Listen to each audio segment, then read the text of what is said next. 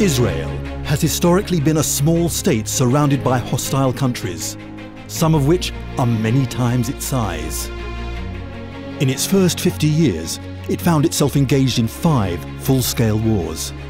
Israel has little strategic depth. Only 44 miles separate between the Jordan Valley and the Mediterranean Sea. A modern fighter bomber can cross this distance in three minutes. After the Six-Day War in 1967, when Israel came under attack by four armies on three fronts. UN Security Council Resolution 242 declared that Israel had the right to live in peace within secure and recognized boundaries, free from threats or acts of force. It was not expected to withdraw fully to the fragile armistice lines from which it had been repeatedly attacked. Prior to Israel's unilateral disengagement from the Gaza Strip in 2005, President George W. Bush sent Prime Minister Ariel Sharon a letter of assurance about the West Bank, in which he stated the United States reiterates its steadfast commitment to Israel's security, including secure, defensible borders. Both houses of the US Congress overwhelmingly approved the letter. What are Israel's defensible borders?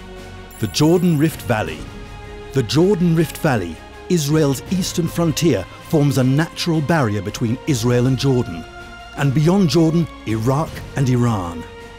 The Jordan Valley and the mountains that dominate it create a steep 4,200 foot virtual wall opposite any force attacking from the east.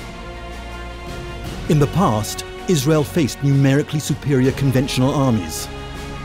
Though outnumbered, it succeeded in winning decisively by fully exploiting the principles of ground warfare. Today, Israel faces mainly terror armies like Hezbollah, Hamas, and ISIS. It must be stressed that as long as wars are fought and ultimately won by the maneuver of land armies, then terrain and strategic depth will remain at the core of Israeli national security. To defend itself from attacks from the east, Israel must retain control over the Jordan Valley and the western mountain ridge that dominates it. Israel cannot concede this vital area in any diplomatic arrangement. That was the position taken by the architects of Israel's national security, like Yigal Allon, Moshe Dayan, and Yitzhak Rabin, and it remains as relevant today as it was back then. הביטחון להגנת מדינת ישראל יוצב בבקעת הירדן בפירוש הנרחב ביותר של המושג הזה. Israel's mountain ridge Israeli withdrawal to the 1967 lines, really the 1949 armistice lines, would be suicidal. The western slopes of the mountain ridge dominate Israel's coastal plain, where more than 70% of its population and 80% of its industrial capacity is located. All flights in and out of Israel's main international airport, Ben Gurion, would be threatened by shoulder-launched anti-aircraft missiles vital early warning stations facing east would be lost. With terror armies increasingly using low-flying drones in Syria and Yemen, Israel must protect its air defense assets all along this critical terrain. With a full withdrawal, the country's width would be reduced to a narrow nine-mile waistline and would be impossible to defend. Therefore, any future arrangement must include Israeli control over key parts of the mountain ridge demilitarization of the West Bank, and continuing Israeli control of its airspace. In addition, Israel must protect itself against the kind of attack tunnels used in recent years by Hamas and Hezbollah along its southern and northern fronts. The attack tunnels are emerging as part of the new strategic landscape facing Israel on all its fronts.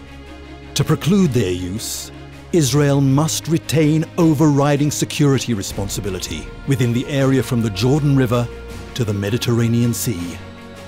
In the last two decades, it had been hoped that Israeli withdrawals from Gaza and southern Lebanon would reduce the hostile intent of its adversaries.